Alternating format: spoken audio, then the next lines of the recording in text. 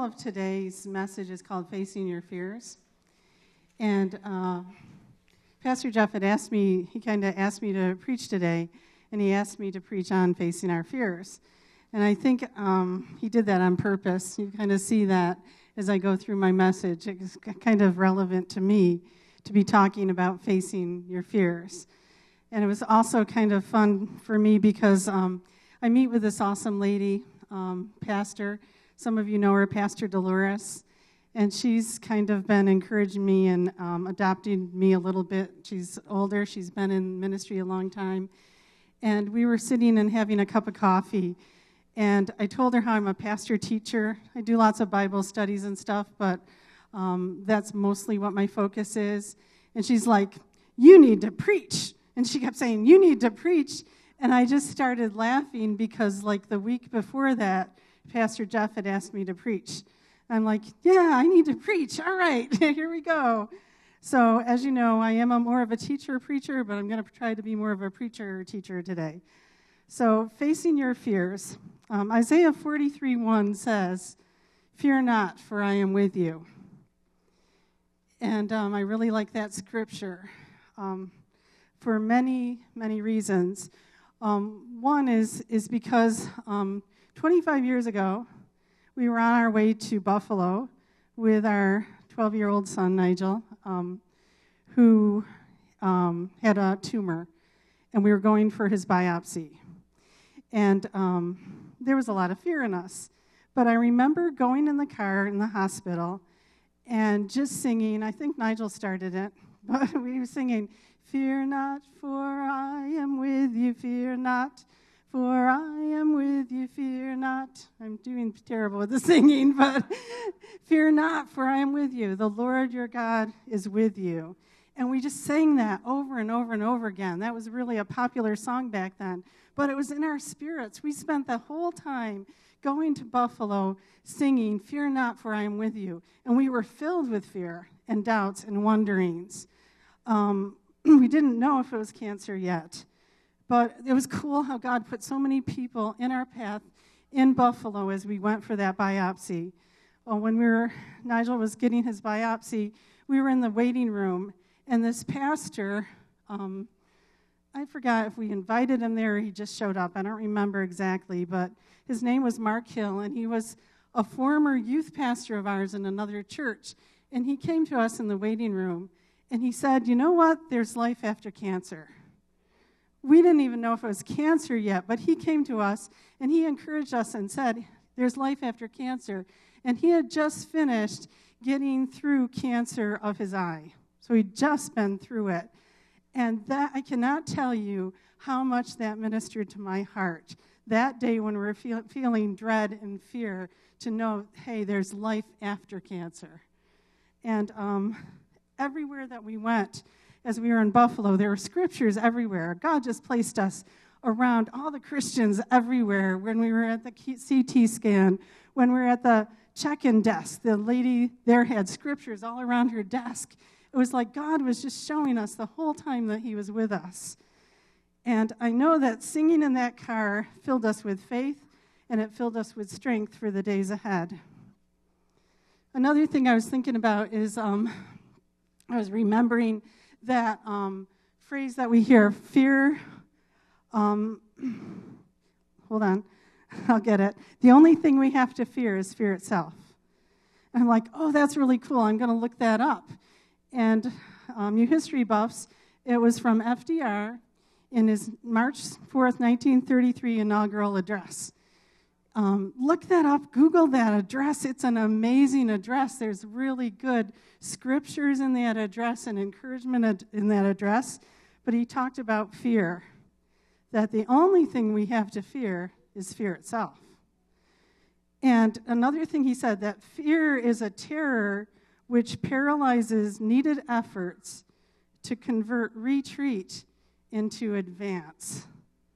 I'm going to say that again. It's a little wordy, but it's really, really good.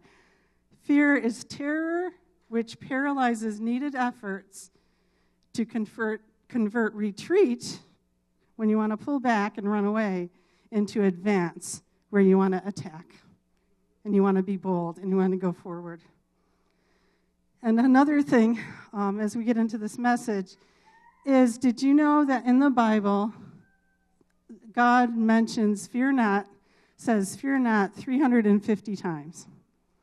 350 times. Fear not, fear not, fear not. You think he's trying to tell us something? You think he knows what we might have some struggles with? 350 times. That's almost a verse for every day of the year. So I guess the other um, 15 days were okay. the other days we have to remember fear not. Um, one reason I think, you know, Pastor Jeff gave me this um, topic is because many of you know that I'm going through a transition right now in my life um, because I'm retiring next week after teaching 40 years of piano. I'm, I'm giving that up and just devoting myself to full time ministry. And um, you think there's a little bit of fear in that? I think so. I'm facing that fear every single day um, for the last couple of months, every single day this week, crying with my students, saying goodbye, saying what's going to happen now because I know. I know that I know that I'm a really good piano teacher, and I've done it for many, many times, many, many years, and done well. And it's like I'm closing the door on that. I'm like, okay, God, what now? What now? Thank you, Faith, for your word. The joy of the Lord is your strength. That's going to help me. Change is an inve- inevitable part of our life, it's uncomfortable for many people. But we can trust God to order all the events in our lives according to his purposes. We can lack self confidence in times of um, transition. Get a little bit nervous there. But we need to step out in faith and in active obedience. So, stepping out in faith and active obedience. That means putting, putting you know, your um, strength where your, your mouth is and where your trust is. Okay, God, we're going to do this. I'm going to trust you in this. So, what is God asking you to do? Step out in faith and go after it. it was in my notes, Diane. Don't look back, or you might turn into a pillar of salt like Lot's wife. we remember our past, for good or for bad, but we can't go back there, and looking back can destroy us. I don't want to turn into pillar of salt. So, we're going to look at five questions today and maybe think about some of the answers. And the five questions are one, what are you afraid of? Two, why are you afraid of it? Three, what can you do about it? Four, when can you face it? And five, what does God have to say about it? I'll be repeating those, but those are, are the five points we're going to look at today. So, number one is what are you afraid of? People are afraid of all sorts of things. Some people have fear and anxiety. Some people are afraid of people. Some people are afraid of the unknown or change. Some people are afraid of death. You know, you can put, put your finger on many, many different things. And, you know, it's, it's really encouraging because there's a scripture for anything that you can come up with. If you have anxiety, Psalm 94 19 says, When anxiety was great within me, your consolation brought joy to my soul. When anxiety was great within me, God gave me joy. Don't you want to trade your anxiety for joy? And He's there with you in the midst of it. If you're afraid of people, these two verses weren't up there. If you're looking for them up there, they weren't up there. Um, Psalm 27, 1 through 3 says, The Lord is my light and my salvation. Whom shall I fear? The Lord is the stronghold of my life. Whom shall I fear? Whom shall I be afraid? When evil men advance against me to devour my flesh, when my enemies and my foes attack me, they will stumble and fall. Though an army besiege me, my heart will not fear. Though war break out against me, even then will I be confident. That's a great one. If you're afraid of people, if you're afraid of the enemy, if you're afraid of the war that's going on around you, look up that scripture, Psalm 27. So you have to be honest about it. If you're going to overcome fear, you have to identify it. So this point is what are you afraid of? If you're going to overcome it, you have to identify it. You have to admit it's there. You have to say, I'm afraid of that. But I love um, Psalm 34 4 because it says, I sought the Lord and he answered me, and he delivered me from all my fears. He delivered me from a few of my fears. He delivered me from some of my fears. He delivered me from all my fears. You can take that to the bank. That's pretty good news. Fear of the unknown and of change. Every life includes constant contact with change. Can't avoid it. Some are voluntary, and some are forced upon us by circumstances. Some changes bring joy, like the birth of a baby. That's a change. That's a huge change, right, Melissa? But it brings a lot of joy.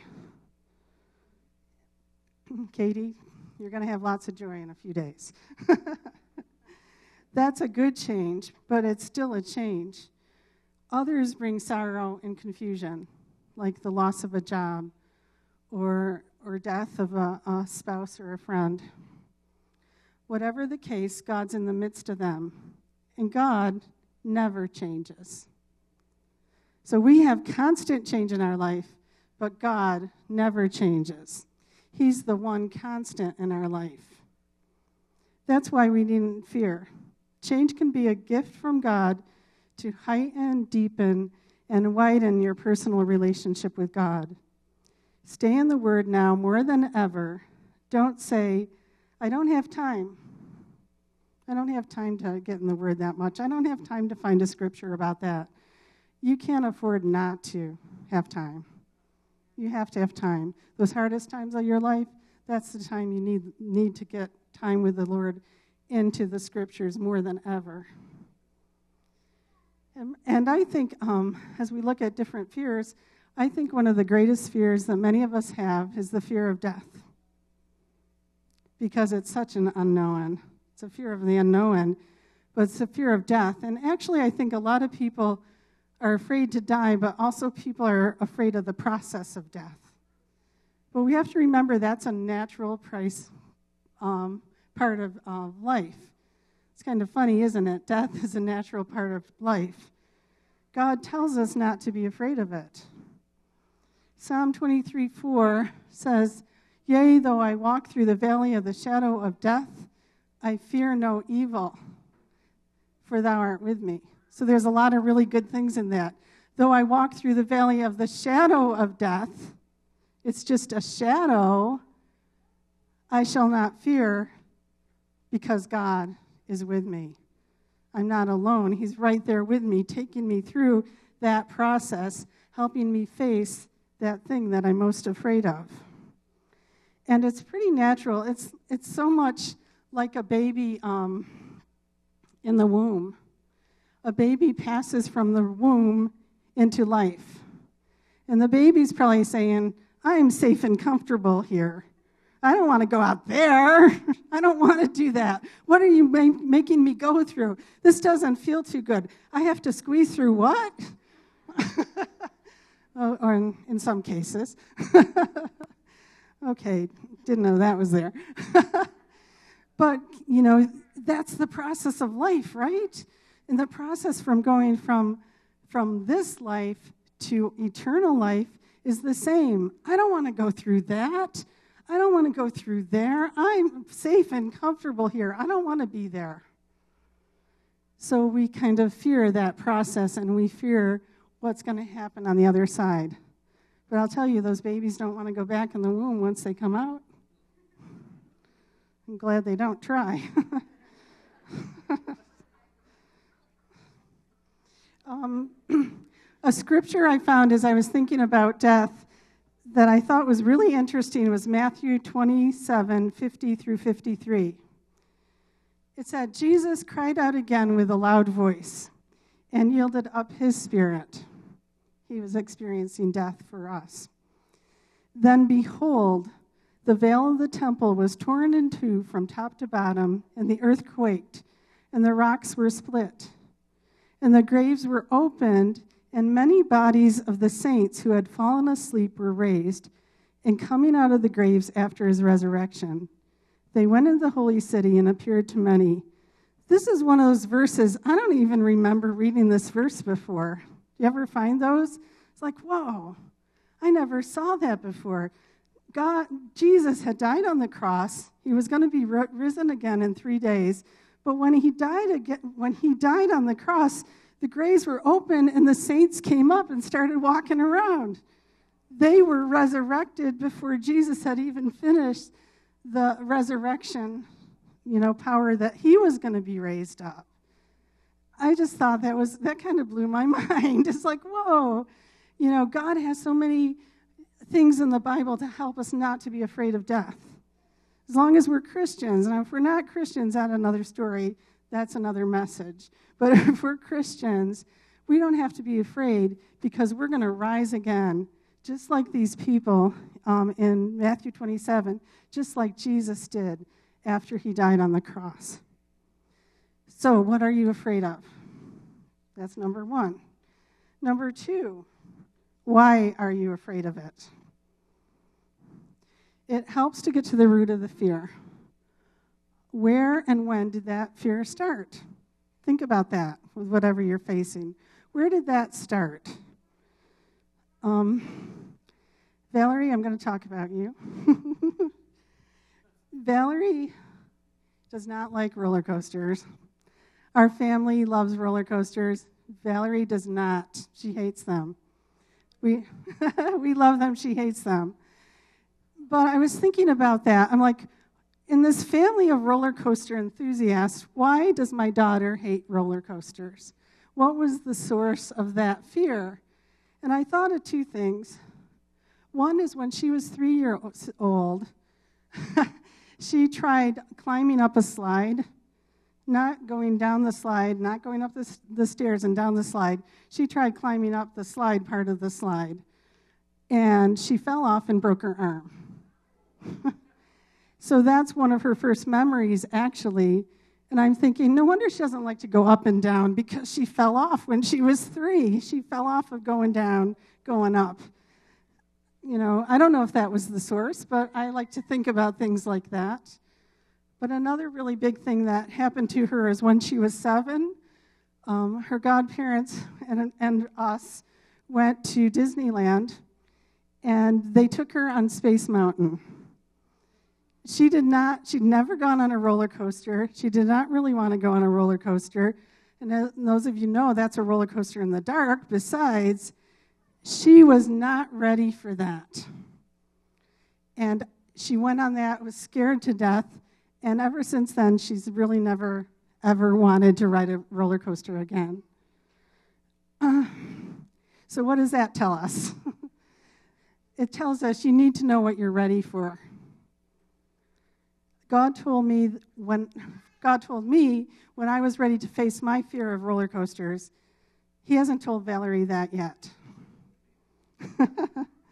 but God deals with us each individually. He took away my fear one roller coaster at a time. I had to de- develop my faith as I let God help remove that fear. But believe me, I asked a lot of questions. I asked, okay, how high is that roller coaster? How fast does it go? Okay, I want to see the whole thing.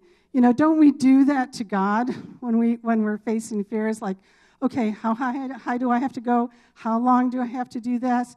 Where am I going at the end? How can I get through that? We want to we want to know all the answers when we're trying to face our fears, when we're facing change and anxiety and the unknown. And you know what? It's okay to ask questions. It is. It's okay to ask God. Ask him what to expect. He might not answer every question right when you want him to, but he'll answer you. He'll tell you what to expect. Um, as we look at anxiety, fear is described in Scripture as bondage, torment, and a snare. And you know what? Often the phrase, be not dismayed, is connected to the phrase, fear not. Fear not, be not dismayed. It's fear not, um, anxiety literally means, um,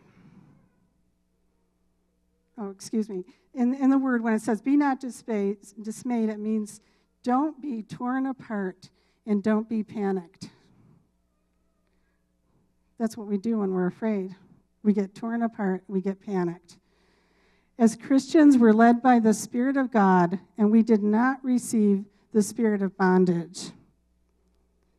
Romans 8 14 through 15 says, For as many as led are, are led by the Spirit of God, these are sons of God. So these are people that are led by the Spirit of God. For you did not receive the spirit of bondage again to fear, but you received the spirit of adoption by whom we cry out, Abba, Father. Abba means daddy. We cry out to our daddy. And he says, Don't fear, I'm with you. Be not dismayed, I am with you. 1 John 4 18 says, There's no fear in love, but for perfect love casts out fear, because fear involves torment. But he who fears has, been, has not been made perfect in love. Perfect love casts out fear. Fear involves torment. God loves us enough not to be tormented. We know who wants us to be tormented, don't we? It's not God. Somebody else is trying to torment us. So, number one was, What are you afraid of? Number two, Why are you afraid of it? Number three is, What can you do about it? God doesn't want us to live in fear. Are you getting that? John 14, 27 says, Peace I leave with you, my peace I give to you. I do not give as the world gives. Do not let your heart be troubled, and do not be afraid. I have a few other scriptures here. I love all of these. Joshua 1 9, one of Pastor Jeff's favorites. Have I not commanded you? Be strong and of good courage. Do not be afraid. Do not be dismayed. There it is again. For the Lord your God is with you wherever you go. Doesn't matter what you're going through, He's with you wherever you go. Isaiah 41, verses 10 and 13. Fear not, for I am with you. Be not dismayed, for I am your God. I will strengthen you. Yes, I will help you. I will uphold you with my righteous right hand. Verse 13 For I, the Lord your God, will hold your right hand, saying to you, Fear not, I will help you. We're not in this alone. That's the good news. We're not in this alone. 1 Corinthians 16 13 Be on your guard, stand firm in the faith, be men of courage, be strong. Those are all really good scriptures. How do you get stronger? Ask Pastor Roger. He's not here, he's upstairs with the teens. But ask Pastor Roger how to get stronger. You exercise, you work out, you develop your muscles, you stretch them. Every time you go a little farther, you get a little stronger. You, wait, you start with five pound weights, then you go to 10 pound weights, then you go to 20 pound weights, and then you go to 50 pound weights, and then you collapse. But, but you keep getting stronger and stronger and stronger, and your muscles get stronger and stronger and stronger. You have to keep, the other thing is you have to keep at it. I think, again, Pastor Roger would tell you if you stop that, if you stop that weightlifting, if you stop that exercising, you go back you start to go backwards and you have to start all over again or build it up again. So when we're facing our fears and we're developing our faith and we're going against something, we have to keep at it. We can't let down our guard. Like it said in um, 1 Corinthians 16 be on your guard, stand firm in your faith. Um, you can't let down your guard or you're going to have a flabby faith. if you stop exercising, your muscles are going to get flabby again. So be on your guard, stand firm in your faith. Okay, number four is when can you face it? When can you face your fear? Um, I've been reading and studying uh, a book by Christine Kane, and she's one of my favorite authors right now. And she wrote about that in her book that I'm reading. And she said, When you allow fear to dictate how you spend your days, you allow life to pass you by. When you allow fear to dictate how you spend your days, you allow life to pass you by. And then she went on and said, Fear will always try to stop you, trip you up, and put your life on hold. So, are you willing to give God your fears? Let Him help you one fear at a time.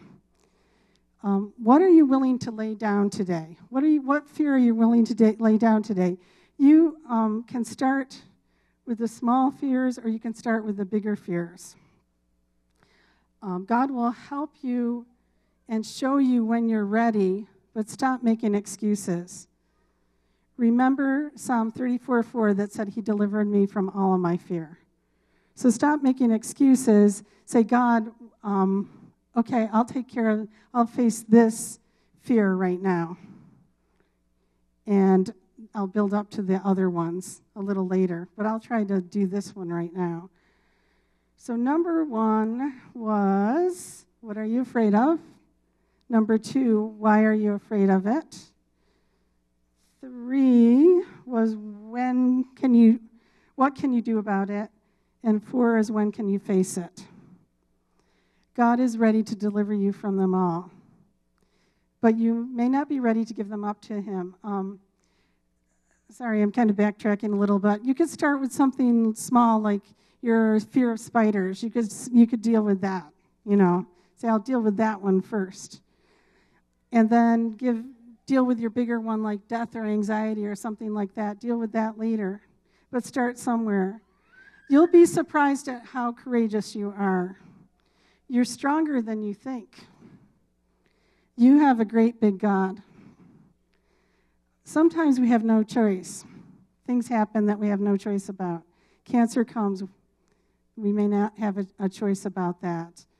Death comes to somebody, we may not have a choice to that. We get fired, we may not have a choice about that. But all we can do in that situation is to wait, hope, and pray that we'll be safe. You still, God knows, know that God is with you, and He walks through you in that um, instance. Um, Michelle and I were on a trip once. We went to see Joyce Meyer in St. Louis, and we were coming back um, on the plane from Atlanta. And we got on the plane, and I don't know, we just had a sense that we needed to be praying. Did God ever do that for you? Just like, okay, something's not exactly right here. You need to be praying. And we were praying and, and um, trying to enjoy the ride. We also noticed uh, the man across the aisle was reading the Bible, and he had it open to Psalms. It was a small enough plane we could see that. We're like, oh, that's really cool. So we're really thinking we need to pray, and this guy's reading Psalms. And um, all of a sudden, like my ears started hurting really badly, like one of the worst pain that I've had in my ears. They were just like going crazy. And my water bottle started to shrivel up and collapse upon itself.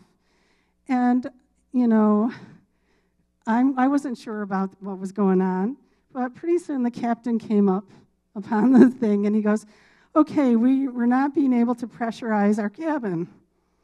So if it's not pressurized, then your ears are going to hurt, your water bottles are going to collapse, the babies were crying because they were hurting their ears. He goes, So we have a problem. We have to turn around and go back to Atlanta. so Michelle and I are praying some more. There's nothing you can do in that situation, right? You can't say, Okay, I don't like this plane. I'm going to jump out of it and find another one. You got to just kind of stay on it and wait and hope and pray that you'll be safe and let God give you that strength in that fearful place. And we went back to Atlanta and found out I don't know how this happens, but somebody in Atlanta had not closed the luggage door. And we were flying with that open, and so it was causing us not to be able to have pressure in the cabin. So they fixed it. We took off. We got home. we prayed all the way home. we made it safely. So God sometimes just has to walk you through it. There's nothing you can do but walk through it, but know that He's with you. So, number five, finally, and most importantly, is what does God have to say about it? Place scriptures all around you to remind you. Figure out what you want to face, figure out what fear you want to give to Him. Look for scriptures, let God show you scriptures, and put them everywhere that you can to remind you. Memorize it, dwell on it, search for it. Sometimes it, you have to search for that scripture that's going to help you. Um, exercise it. Write it down in a journal. Whatever you have to do, stay on top of any fears that come at you. And ask Him to show you what He has to say about it. And God will be specific. As I decided to retire, God gave me a couple scriptures to help me through. And that was really encouraging. One was already on the wall in my office, and it's Psalm 18:2. It says, "The Lord is my rock and my fortress, and my deliverer, my God, my strength, in whom I will trust." So over the next few months, I know I'm going to be going back to that. He's my strength. He's my deliverer. I trust in him. I am not afraid. And then he gave me another one. It was um, Isaiah 55 12, which says, You shall go out with joy and be led forth in peace. And I grabbed onto that one. Remember, you have to search for it sometimes. God gave me that one. I grabbed onto that one. I'll go out in joy and I'll be led forth in peace. So I'm letting go of something in my past with joy and going forward into my future, which is somewhat unknown, with peace. That's a really good thing to know. And then I decided to look it up in the Message Bible, and I really liked what it said. So I wrote it down and I posted it in my office, and I put it here for you to, to read. This is what it says It says, You shall go out with joy. You'll be led into a whole and complete life. Isn't that good news when you're facing something like transition? The mountains and the hills will lead the parade, bursting with song.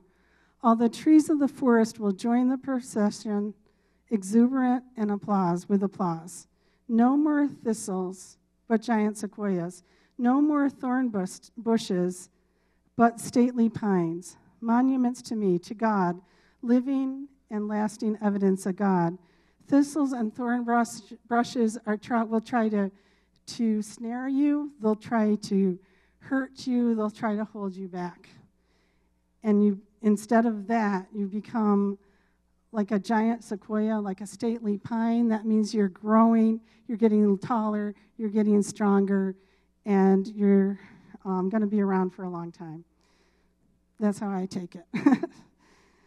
um, so I typed that up, and it's hanging in my office as a reminder as I face one of my fears. So, when facing your fears, you can't afford not to be in the Word. How can God lead you and comfort you if you're not in the Word? Why else would He put fear not in the Bible over 350 times? There's something there we need to know. As we fix our eyes on Him, it helps us to grow stronger. We're developing our faith muscles. We're working, working out. When we keep our eyes on Him, he takes us out of the constraints that otherwise bind us in fear. We're no longer restricted and trapped in bondage. We are free. As I faced my fear and went down that roller coaster hill, raising my arms, no less, so eventually I rode roller coasters, but then I got brave enough to do this. Stupid family that we are. and going down going down the hill with my arms raised. And when I did that for the first time, I literally yelled out, I'm free.